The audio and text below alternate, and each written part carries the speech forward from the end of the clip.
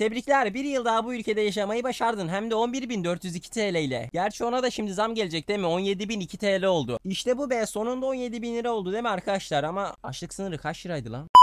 Her neyse kötüsüyle kötüsüyle ahem, daha çok kötüsüyle kötü bir geçirdik ve bu kötü olaylardan ben de nasibimi aldım. Ancak bu kötü olayları biraz da olsa unutmamızı sağlayan üstün bize anlayışımız dünyadaki hiçbir ülkeyle kıyaslanamaz. Hatta ülkeyi bırakın dünya ile kıyaslanamaz çünkü biz her şeyle tak geçen bir milletiz. İşte bu yüzden 2023 sosyal medya özetine hepiniz hoş geldiniz. Amin.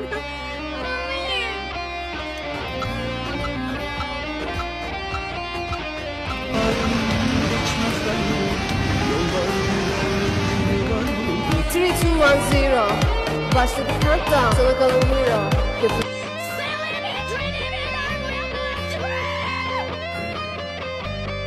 Salay hocam demiş. Aleyküm selam.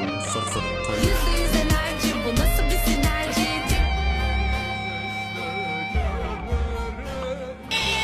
Çağırcana gitti moralesi muzlu.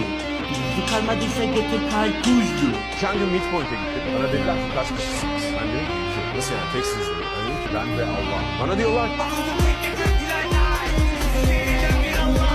Sevdiği kız başkasına varmış Onlar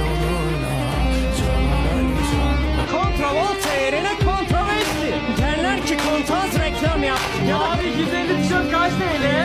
59.90 san san san. Şaka yapıyorsun.